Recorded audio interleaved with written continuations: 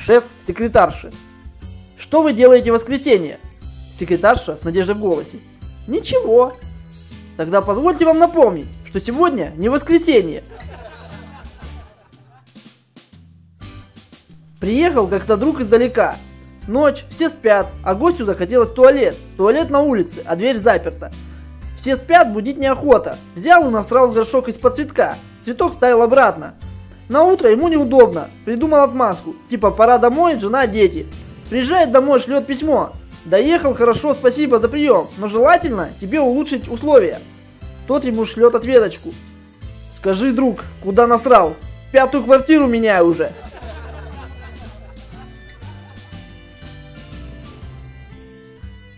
А я вот не верю в дружбу между мужчиной и женщиной. Почему? Знаешь, трудно дружить с тем, на кого у тебя стоит.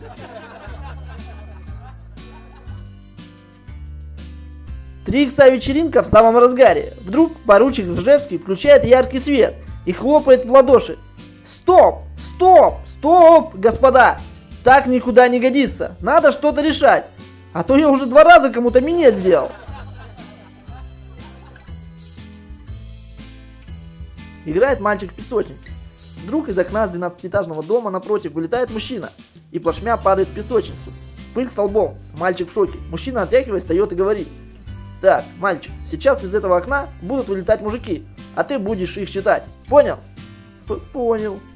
Через пять минут из этого же окна вылетает мужик и плашмя падает в песочницу. Пыль столбом. Мальчик. Раз. Мужик встает и отряхиваясь. Погоди, мальчик, не считай. Это снова я. У мужика попугай любил водочку хлебнуть, как его хозяин. Однажды хозяин пришел подвыпивший, принес полбутылки водки, поставил на стол и говорит, смотри, попка, я тут водки принес, это мне завтра похмелиться.